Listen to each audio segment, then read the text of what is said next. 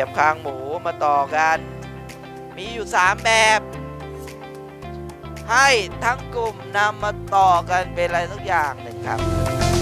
การอบรมในวันนี้นะครับมาในหัวข้อ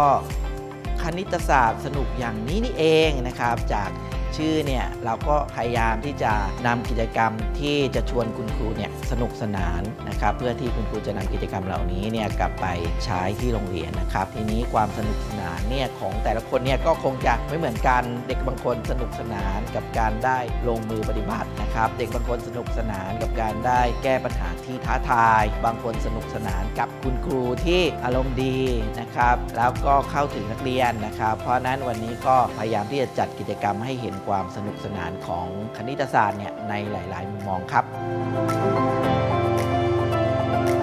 ประโยชน์ที่ได้รับจากการเรียนนะคะ ในวันนี้คือได้รู้เกี่ยวกับขั้นตอน เทคนิค ทักษะและกระบวนการในการสอนคณิตศาสตร์นะคะ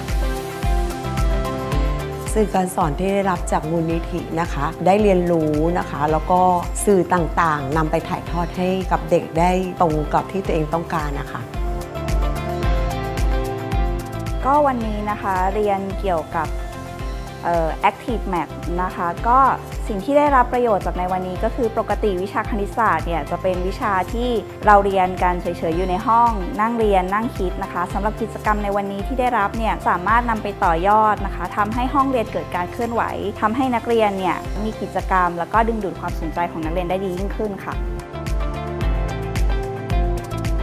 รูคิดว่าสื่อกลางอย่างมูลนิธิศักพรทรัพย์เนี่ยค่ะก็มีความสำคัญมากนะคะ อย่างเช่นที่เห็นได้ชัดเลยก็คือการจัดกิจกรรมอบรมให้กับครูผู้สอนค่ะ เพื่อที่จะได้พัฒนาแล้วก็ไปสอนนักเรียนได้อย่างมีประสิทธิภาพมากขึ้นค่ะ